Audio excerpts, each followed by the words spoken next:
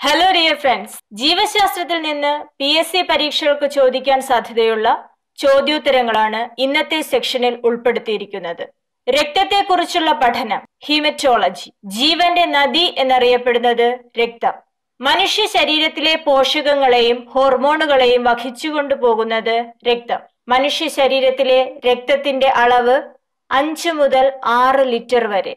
മനുഷ്യ ശരീരത്തിലെ അരിപ്പ എന്നറിയപ്പെടുന്നത് വൃക്ക. രക്തം അരിച്ച് മാലിന്യങ്ങൾ നീക്കം ചെയ്യുന്ന അവയവമാണ് വൃക്ക. രക്തം ശുദ്ധീകരിക്കുന്ന അവയവം ശ്വാസകോശം. രക്തത്തിന് ചുവപ്പ് നിറം നൽകുന്ന വർണവസ്തു ഹീമോഗ്ലോബിൻ. ഹീമോഗ്ലോബിനിൽ അടങ്ങിയിരിക്കുന്ന ധാതു ഇരുമ്പ്. മനുഷ്യ ശരീരത്തിന് ആവശ്യമായ ഹീമോഗ്ലോബിന്റെ അളവ് പുരുഷന്മാരിൽ പതിനാല് പോയിന്റ് അഞ്ച് M G per hundred M L സ്ത്രീകളിൽ പതിമൂന്ന് പോയിന്റ് അഞ്ച് M G per hundred M L ശരീരത്തിന്റെ എല്ലാ ഭാഗങ്ങളിലേക്കും ഓക്സിജൻ എത്തിക്കുന്ന രക്തകോശമാണ് അരുണ രക്താണുക്കൾ. ചുവന്ന രക്താണുക്കൾ ഉൽപ്പാദിപ്പിക്കുന്നത് എവിടെയാണ്? അസ്ഥിമജ്ജയിൽ. രക്തത്തിലെ ചുവന്ന രക്താണുക്കളുടെ അളവ് നാൽപ്പത് മുതൽ അറുപത് ലക്ഷം വരെ. ചുവന്ന രക്താണുക്കൾ നശിപ്പിക്കപ്പെടുന്നത് എവിടെ വച്ചാണ്? കരളിലും പ്ലീഹയിലും. ചുവന്ന രക്താണുക്കളുടെ ശവപ്പറമ്പ് എന്നറിയപ്പെടുന്നത് പ്ലീഹ. ചുവന്ന രക്താണുക്കളുടെ നിർമ്മാണത്തിനാവശ്യമായ വൈറ്റമിനുകൾ vitamin B twelve vitamin nine and vitamin six ചുവന്ന രക്താണുക്കൾ ശിഥിലീകരിക്കപ്പെട്ടുണ്ടാകുന്നത് ബിലിറൂബിനും ബിലിവിർഡിനും.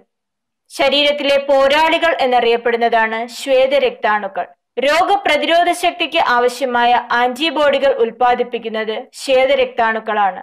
രക്തത്തിലെ ശ്വേതരക്താണുക്കളുടെ അളവ് ഏഴായിരം മുതൽ പതിനായിരം വരെ. ശ്വേതരക്താണുക്കൾ ഉൽപ്പാദിപ്പിക്കപ്പെടുന്നത് എവിടെയാണ്? അസ്ഥിമജ്ജയിലും പ്ലീഹയിലും. ആന്റിബോഡികൾ ഉൽപ്പാദിപ്പിക്കുന്ന ശ്വേതരക്താണുവാണ് lymphocyte. H I V virus ആക്രമിക്കുന്ന രക്താണു ലിംഫോസൈറ്റ്. രക്തം കട്ടപിടിക്കുന്നത് തടയുന്ന ഹെപ്പാരിൻ ഉൽപ്പാദിപ്പിക്കുന്ന ശ്വേതരക്താണുവാണ് ബെയ്സോഫിൽ ഏറ്റവും വലിയ രക്താണുവാണ് ശ്വേതരക്താണു. ഏറ്റവും വലിയ ശ്വേതരക്താണു മോണോസൈറ്റ്. ഏറ്റവും ചെറിയ ശ്വേതരക്താണു ലിംഫോസൈറ്റ്. ഏറ്റവും കൂടുതൽ ആയുസ്സുള്ള രക്തകോശം ചുവന്ന രക്തകോശം നൂറ്റി ഇരുപത് ദിവസം. ഏറ്റവും ആയുസ് കുറവുള്ള രക്തകോശം പ്ലേറ്റ്ലെറ്റുകൾ നാല് മുതൽ ഏഴ് ദിവസം വരെ. ശ്വേതരക്താണുവിന്റെ പരമാവധി ആയുസ് പതിനഞ്ചു ദിവസം. നിറമില്ലാത്ത രക്തകോശമാണ് പ്ലേറ്റ്ലെറ്റുകൾ. രക്തം കട്ടപിടിക്കാൻ സഹായിക്കുന്ന രക്തകോശം പ്ലേറ്റ്ലെറ്റുകൾ. രക്തം കട്ടപിടിക്കാൻ എടുക്കുന്ന സമയം മൂന്ന് മുതൽ ആറ് മിനിറ്റ് വരെ. രക്തം കട്ടപിടിക്കാൻ സഹായിക്കുന്ന ധാതു കാൽസ്യം.